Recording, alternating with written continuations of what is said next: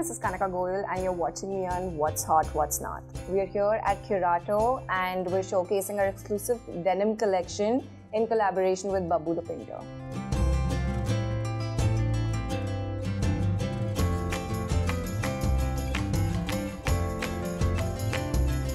My favorite color for this season, and in fact, I think every season probably since we've since the day we started our brand this has just been powder blue. I just love that color. If I had to wear one thing for the rest of my life, I think just like oversized sweatshirts. I can live in them. That's the best. Uh, the place where Indian women go wrong in styling themselves is I feel First of all, Indian bodies are very different as compared to the um, actual size charts that we see globally.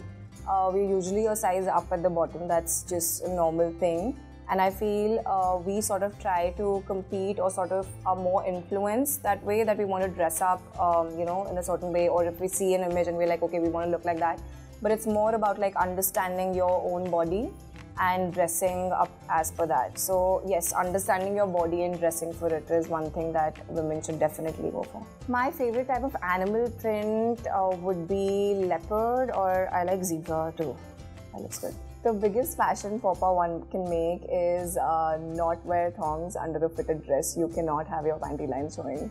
One fashion word, or I would say a phrase that everybody should probably stop using is, oh my god, this is so last season. One accessory that I've had for ages uh, is definitely a pair of diamond earrings that my mom gifted me when I was 21, so that's a long time.